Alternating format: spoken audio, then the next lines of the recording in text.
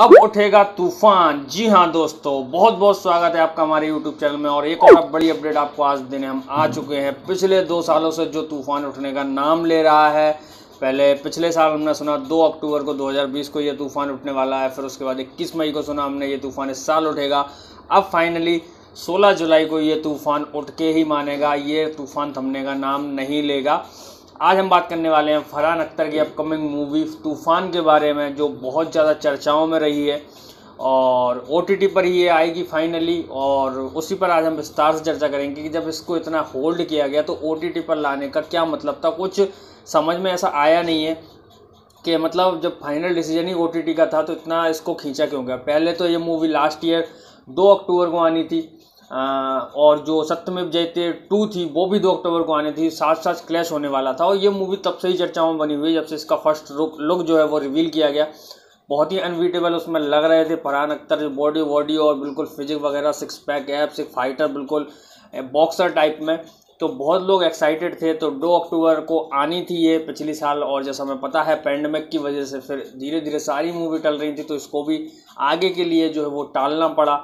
फिर फाइनली जैसे situation normal हुई 21 मई इसकी डेट दी गई कि आएगी ये अमेज़ोन पर ही अमेजोन प्राइम वीडियो पर ही आएगी इक्कीस मई को। लेकिन हमें पता है कि अप्रैल मई फिर से पूरा जो है वो दूसरी वेब में चला गया कोरोना की। अब फाइनली आज इसकी तीसरी नई रिलीज़ डेट सामने आई है, जो है 16 जुलाई 2021 और ओटीटी पर ही हमें देखने को मिलेगी। तो मुझे बिल्कुल समझ में नहीं आ रहा कि ऐसी कौन सी डील होती है ओटीटी वालों के बीच में फ़िल्म मेकर्स की कि मतलब इस मूवी को ओटीटी पर लाने के लिए भी मतलब इतना होल्ड करना पड़ा। अगर ओटीटी पर लाना ही थी तो इतनी अच्छी सिचुएशन अभी चल रही थी। लोग घर में बैठे थे फ्री बैठे थे। अगर वो राधे जैसी मूवी को इतना अच्छा रिस्पॉन्स दे सकते हैं तो तूफ़ान कोई ढंग की मूवी है मुझे ऐसा लग रहा है। देख के पोस्टर तो मुझे ऐसा लग रहा है कि कुछ ढंग की मूवी कुछ ढंग का हमें देखने को मिलेगा। अगर इस टाइम में ये रिलीज़ कर देते तो क्या चला जाता? अब मुझे समझ में नहीं आ रहा है कि अब जैसे थिएटर्स खुलने लगे, फिर भी ये ओटीटी पर ही आए आ रही है। पहली प्रायोरिटी इसकी ओ है। मुझे बिल्कुल समझ में नहीं आ रहा। अगर आप लोगों को आए तो प्लीज़ मुझे कमेंट करके बताना कि क्या वजह हो सकती है। तीन नई रिलीज़ डेट आने के बाद भी, तीन मतलब दो रिलीज़ डेट निकल जाने के बाद तीसरी नई रिलीज़ डेट आ रही है, वो भी अमेजोन प्राइम पर ही हमें देखने को मिलेगी। तो बिल्कुल समझ से परे है ये बात।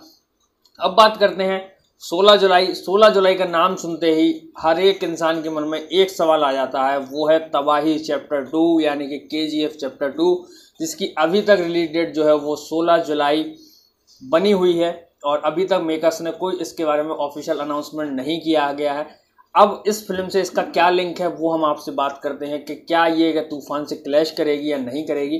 तो देखो के एक अलग लेवल की मूवी है, अगर वो क्लैश करेगी भी तूफ़ान से तो कोई ज़्यादा फ़र्क पड़ने वाला है नहीं क्योंकि तूफ़ान हम सबको पता है ओटीटी पर आ रही है वो थिएटर में जाएगी वो मूवी थिएटर के लिए ही बनी है। और दूसरी सबसे बड़ी बात 16 जुलाई को के आपको देखने को कतई नहीं मिलने वाली है क्योंकि के के जो हिंदी राइट्स हैं जो हिंदी में ख़रीदे हैं वो ख़रीदे हैं फर, फरहान अख्तर के प्रोडक्शन हाउस ने।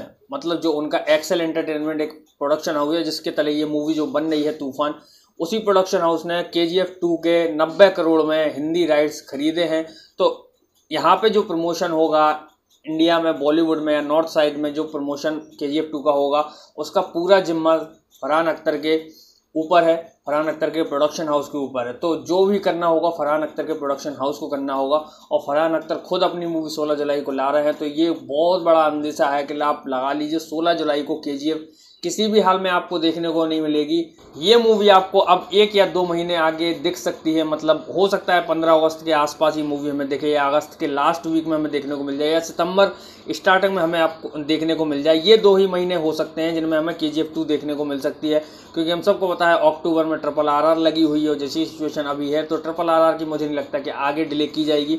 रिलीज़ डेट और फिर उसके बाद और भी कई सारी मूवी हैं आदि पुरुष भी लगी हुई है, और भी काफ़ी सारी बड़ी बड़ी फ़िल्में हैं, पुष्पा भी है, साउथ की जो लगी हुई हैं लाइनअप तो उनके साथ क्लैश के वाले कभी नहीं करना चाहेंगे। तो उनके पास सिर्फ़ दो मंथ बचते हैं जुलाई के बाद। सितंबर और अगस्त। इन दो महीनों में आपको के जी एफ़ टू दिख जाएगी। ये थी अभी तक की सबसे बड़ी अपडेट। फरहान अख्तर की अपकमिंग मूवी 16 जुलाई को हमें देखने को मिलेगी और के जी एफ़ टू अब 16 जुलाई को हमें देखने को नहीं मिलेगी। आपकी क्या राय है इन सब के बारे में, हमें कमेंट करके ज़रूर बताएँ। वीडियो अच्छी लगी हो तो लाइक कर दें और ऐसी ताज़ा अपडेट्स के लिए हमारे चैनल को सब्सक्राइब करना बिल्कुल मत भूलें।